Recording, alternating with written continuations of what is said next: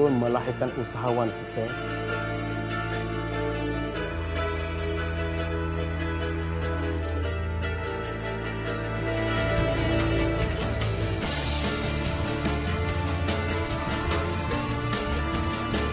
Ya, tapi syarikat yang abang tengok ni followers dia ramai kan. Pilihlah syarikat yang diyakini. Betul Kedai patuh syariah ni macam mana Ustaz? Saya ada buat pelaburan emas online. Ada pihak yang jual dina emas untuk pelaburan. Apa hukumnya?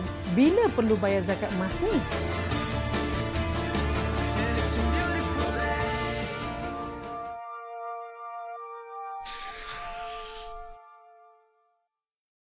Assalamualaikum warahmatullahi wabarakatuh. Bersama dengan saya Farhanim Razak dalam rancangan Makmurkan Hidupku dibawakan khas oleh Koperasi Makmur Malaysia Berhad Ko Makmur. Sebuah rancangan yang merungkai ilmu pelaburan emas secara strategik. Sebagai pembuka tirai dalam segmen Skesa Emas dan Bijak Emas bersama Makmur Gold, kami bantu anda penonton di rumah untuk membuat pilihan yang tepat antara pelaburan emas dan pelaburan hartanah.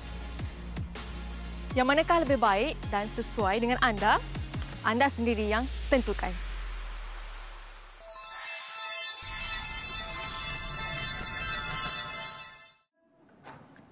Sayang. Assalamualaikum. Waalaikumsalam. Hey, awal abang balik hari ni. Alhamdulillah. Saya macam tahu-tahu je dah siap. Yang, uh, saya bawa makan kat luar. Saya nak raikan sikit. Eh, nak raikan apa ni? Hari ni bukan hari jadi saya. Hari jadi awak pun bukan. Hmm? Anniversary kita lambat lagi. Hmm. Nak raikan apa ni bang? Yang, ingat tak? Klien yang abang buat projek itu. Hari ni dia dah bayar bayaran akhir. Alhamdulillah ya, dah dapat dah. Tapi lepas tolak-tolak komitmen, kereta, rumah, semua-semua lah kan. Hmm? Ada lebih banyak ya. Lebih dalam RM75,000. RM75,000? Masya Allah, abang. Alhamdulillah. Alhamdulillah. Yang, abang ada idea lah. Abang fikir-fikir balik kan. Abang macam nak bayar deposit rumah baru lah yang. Yelah ni kira macam pelaburan untuk hari tua kita lah. Abangku sayang. Daripada abang pergi beli rumah, lebih baik abang melabur dalam emas. Pelaburan emas ni insya-Allah tak akan rugi. Barang terus jadi aset. Nilai harta keluarga bertambah, bukan liability.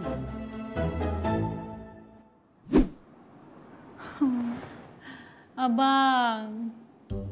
Abang. Abang.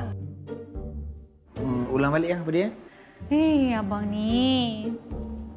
Lainlah kalau kita ni bang ada sumber pendapatan yang konsisten. Ha, nanti kita nak kena bayar duit dekat bank tiap-tiap bulan. Susahlah bang, nanti kalau kita tak cukup duit nak bayar wang ansuran. Ya tak ya juga kan. Ha. Ha. Tengok ni. Apa kata abang beli emas dengan Mak Mogul? Macam-macam ada bang. Gelang emas ada, rantai emas, subang, cincin emas. Semuanya murah, tanpa upah. Dan patuh syariah bang. Nanti saya boleh pakai. Pelaburan abang, pelaburan untuk saya juga. Bijak isteri abang. Bijak, bijak, bijak.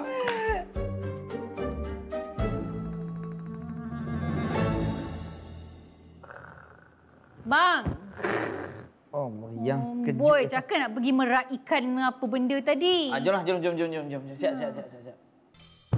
Pada tahun 2000, nilai 1 gram emas hanya RM35. Pada tahun 2020, nilai emas telah mencecah RM260.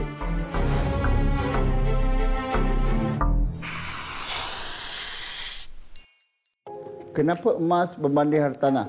Terdapat beberapa kelebihan simpanan emas berbanding hartanah walaupun tidak dinafikan hartanah mempunyai nilai pembangunan yang tinggi.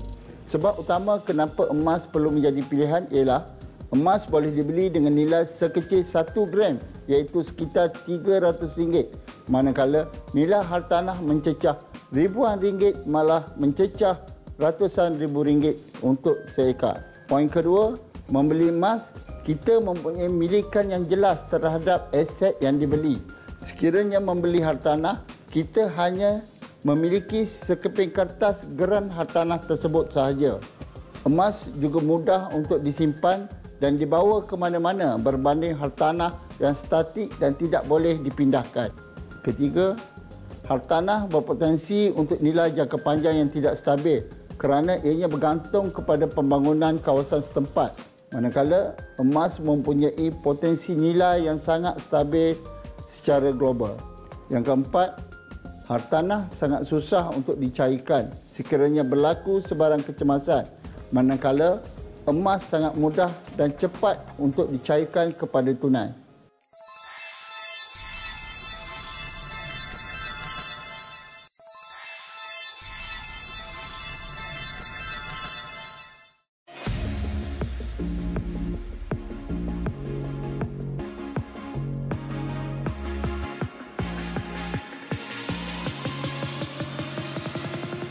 Makmurkan hidupku masih bersama anda.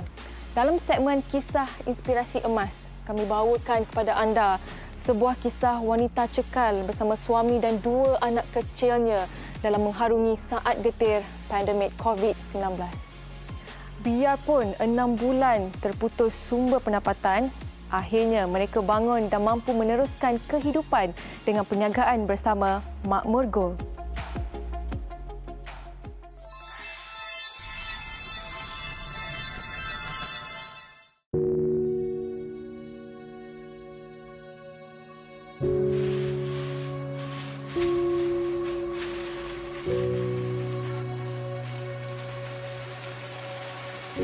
Saya dah berkahwin dan mempunyai uh, dua orang anak, uh, seorang lelaki dan seorang perempuan. Selepas pada berkahwin, uh, saya berhenti kerja dan saya dan suami uh, berniaga pasar malam sampai sekarang.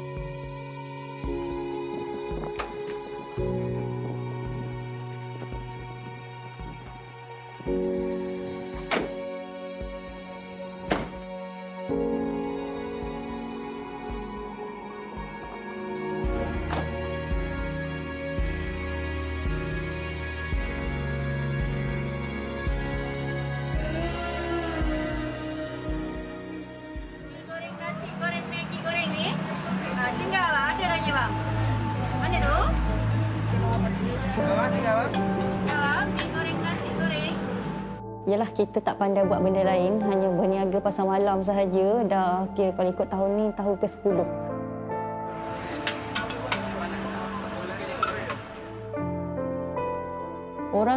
Berniaga pasar malam ni memang kena banyak sabar, kena kuatlah, kental dari segi emosi, fizikal sebab bukan satu benda yang mudah sebenarnya untuk kita uh, buat semua benda sendiri. Uh, daripada menyiapkan bahan dari rumah uh, untuk pergi berniaga uh, dan anak pun tak ada tempat untuk kita tinggal, kita terpaksa bawa sekali pergi berniaga uh, dengan keadaan yang tak sempurna, anak membesar depan mata, uh, kita pun uh, terkejar-kejar setiap hari buat kerja.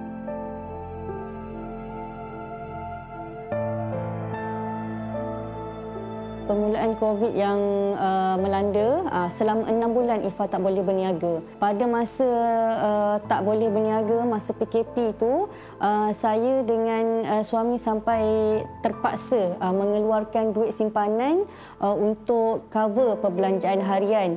Sedih lah kalau macam saya sebagai ketua keluarga ni kira hadap je lah apa yang ada. Tapi apabila tengok anak isteri, kira sebelum ni makan kira ialah boleh makan apa je. So waktu getirnya tak boleh berniaga tu, PKP tu kira terpaksa berjimat lah.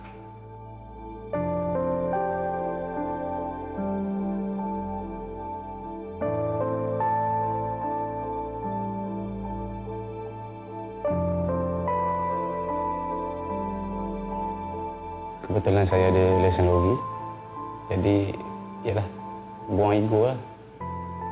Jadi, keluar bekerja mandu lori untuk uh, road marking atau uh, road line jalan tu jalan raya anak demam uh, masa tu pun uh, nak ke hospital nak ke klinik pun uh, agak agak rasa uh, kurang kemampuan masa tu. Uh, sangat uh, rasa tertekan dengan keadaan masa tu. Masa tu sedih sangat sebab uh, ialah anak dalam keadaan tak sihat tapi kita tak boleh nak buat yang terbaik bagi yang terbaik untuk anak. Itu saat yang paling uh, sukarlah untuk Ifa dengan husband tengok muka anak masa tu sangat-sangat sedih. Memang tak boleh tak boleh nak tahan. tak tak bermaya lah lembik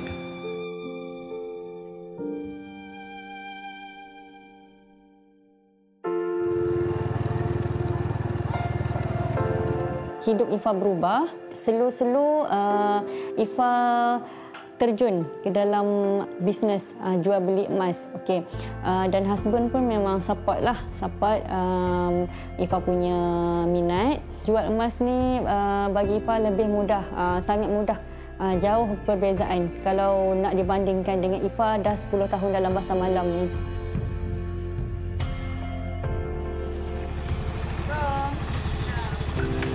Sikit sebanyak Ifa dapat customer okey. Dan repeat pembelian. Daripada situ Ifa ada satu sumber income yang Ifa boleh pegang. Sampai sekarang uh, rasa uh, satu benda baru yang Ifa belajar uh, dapat ubah hidup Ifa uh, Ifa dikenalkan dengan Mak Mogol oleh kawan sekolah Ifa dulu. Okay, daripada situ Ifa ambil peluang uh, join dengan Mak Mogol. Uh, masa tu hanya fikir untuk mencari uh, orang cakap uh, sedikit orang cakap kelegaan masa tu untuk menampung kehidupan.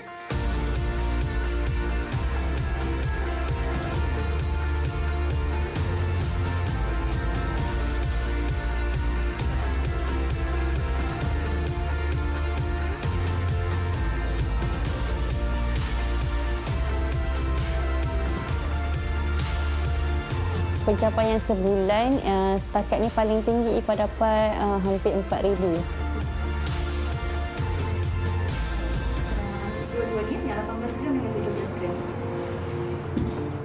Saya suka beli emas dengan Ifa sebab bila tanya saiz dan harga dengan dia, dia jawab dengan pantas. Uh, sebab Ifa akan datang kedai setiap hari untuk customer dia. Jadi saya saya akan WhatsApp dia tanya barang semua kalau ada yang saya kenal, saya akan beli melalui dia. Lah.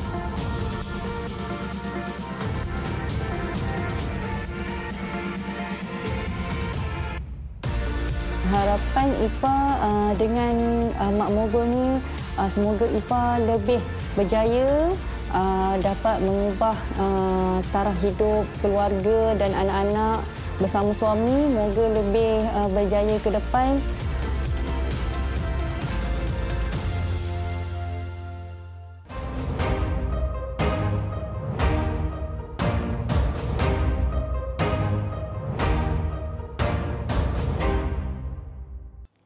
Assalamualaikum warahmatullahi wabarakatuh. Bersama dengan saya Ustazah Datuk Dr. Nur Hafizah Musa dalam slot Apa Kata Ustazah. Ada satu soalan yang diberikan kepada Ustazah yang berbunyi, Ustazah, apa kata Islam mengenai emas? Sebab sekarang ramai sangat yang pakat beli emas. Uh, Masya Allah. Ya. Uh, sebenarnya sahabat-sahabat semua bila bercakap tentang emas Allah menggambarkan dalam al-Quran dan hadis Nabi sallallahu alaihi wasallam yang Nabi sebut dalam hadis gambaran bahawa emas ini selama-lamanya sentiasa ada demand dia ia sentiasa diperlukan, disukai, disebut dalam surah Ali Imran ayat 14, dalam surah Al-Kahfi ayat 31, disebutkan bagaimana perhiasan yang namanya emas ini akan sentiasa menarik perhatian manusia. Bahkan dalam syurga pun Allah menyebutkan nikmat, ya nikmat tentang emas yang akan menjadi nikmat yang Allah berikan kepada manusia. Jadi sebab itu bila sebut tentang emas, ya ramai sangat nak pakat beli emas, ya kerana ia merupakan salah satu daripada naluri manusia itu sendiri yang suka menyerahkan kepada emas. Sebab tu tuan puan sekalian, kalau kita tengok orang yang berniaga emas, ya masya-Allah kadang-kadang kedai emas pun ya macam orang jual goreng pisang panas. Ya punyalah ramai. Sebab apa? Sebab ini adalah satu perniagaan yang melibatkan perkara yang memang menjadi permintaan pada naluri manusia. Kita lihat soalan yang kedua. Ustazah, bolehkah Ustazah kongsikan kisah Nabi yang berkaitan dengan emas? Masya Allah. Ustazah teringat satu kisah di mana Rasulullah sallallahu alaihi wasallam ketika itu melaksanakan solat asar dengan para sahabat baginda. Sebaik saja Nabi sallallahu alaihi wasallam ya memberi salam tuan-puan sekalian Nabi tiba-tiba bergegas hingga hampir-hampir melangkah sahabat-sahabat untuk ke mana? Untuk balik ke rumah baginda. Sahabat-sahabat semua keheranan. Dan kemudian Nabi datang semula ke masjid dan mengatakan ya pasti kalian hairan. Kenapa aku tergesa-gesa? Lalu Nabi mengatakan sebabnya ya lepas saja aku solat tadi aku teringat bahawa di rumahku ada ada satu emas ya wallahu alam besar mana tuan-puan sekalian ada satu emas yang diberikan oleh seseorang sebagai hadiah kepada Nabi SAW dan Nabi teringat bahawa emas itu masih ada lagi di rumah baginda Nabi SAW Nabi tak sedap hati. Lalu Nabi minta kepada ya isteri baginda untuk apa? Bagikanlah emas tu. Bahagi-bahagikanlah emas itu. Faraidkanlah. Maknanya agih-agihkanlah emas itu supaya dapat membantu manusia yang lain. Apa yang boleh kita pelajari sahabat tuan-puan sekalian? Ya emas berpotensi untuk menjadi satu dari daripada produk ataupun perniagaan pelaburan yang sebenarnya kita boleh membantu orang-orang susah di luar sana. Ia bukan satu aset yang tersimpan kekal yang berada di rumah kita. Sebaliknya ia adalah aset yang paling baik tuan puan untuk kita cairkan supaya kita boleh membantu ummah ya dengan emas itu sendiri kerana emas itu tuan puan sekalian nilainya adalah nilai yang tidak load inflasi. Itu jawapan daripada Ustazah. Assalamualaikum warahmatullahi wabarakatuh.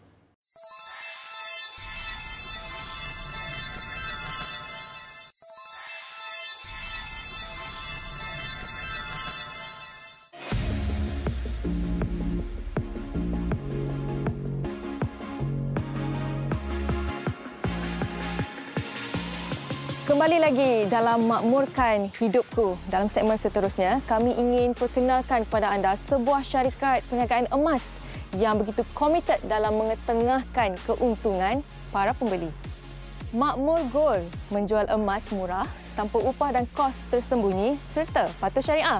Dan yang paling penting, menjadi jihad ekonomi untuk umat. Jom kita saksikan.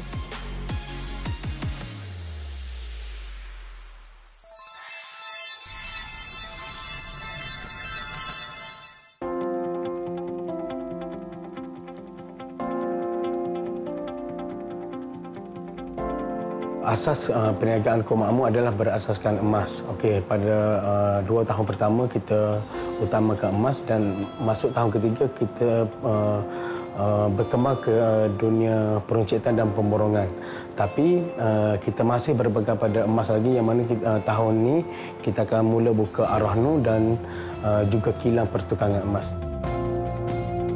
Mak Mogul berbeza sedikit konsep bisnesnya iaitu kita melahirkan usahawan iaitu business to business yang mana kita ada akademi yang uh, melahirkan usahawan-usahawan Mak Mogul dan daripada usahawan kita lah untuk delivery ataupun uh, menyampaikan produk-produk Mak Mogul tu melalui konsep kita jayakan Mak Mogul iaitu berjaya di atas kejayaan usahawan-usahawan kita.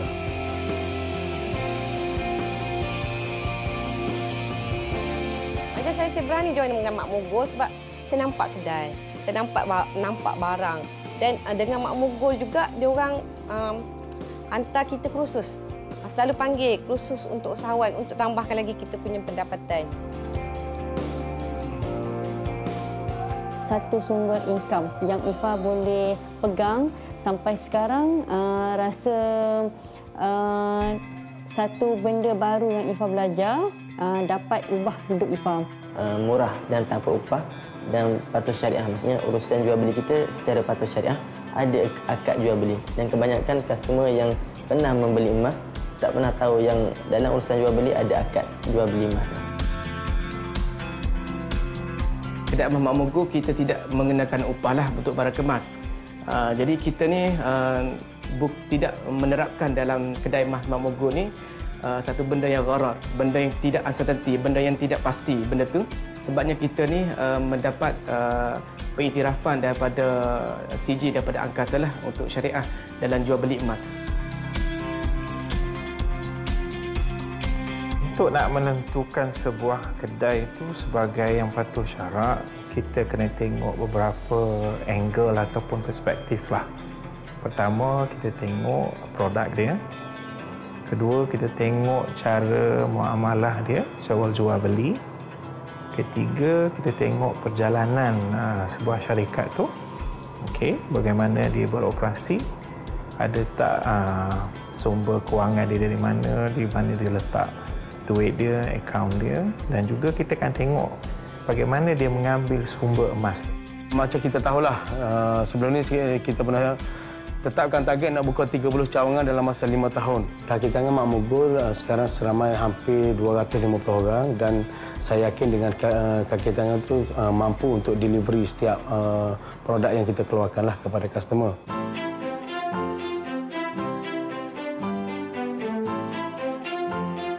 Layanan staf Mak Mugul sangat baik dan senang untuk berurusan kerana setiap apa yang ditanya dijelaskan dengan baik. Ada segi kepuasan lah uh, customer customer bila staff baik cara layanan pun okey apa semua kadang-kadang customer sampai bila dia suka cara layanan staff tu dia akan datang hari-hari.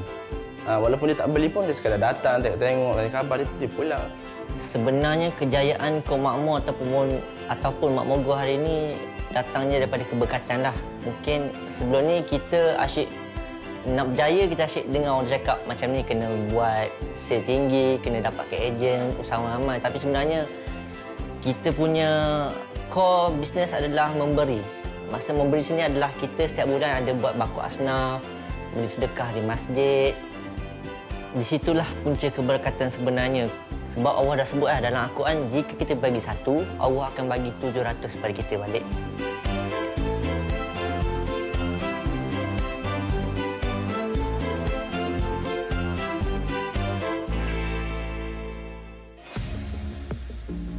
Kasih kerana menonton Makmurkan Hidupku. Bersama kami minggu hadapan dengan paparan topik berkenaan Koperasi emas tu. Macam mana? Surprise! Ha, dan memang ketulanannya semua orang tahu di Kelantan ni memang emas dia mutunya adalah 91 nilai terbaik dan memang dikenali di seluruh Kelantan malah di seluruh negeri-negeri lain juga. Ustaz, apakah hukum beli emas melalui sistem MLM? Semuanya dalam paparan minggu depan.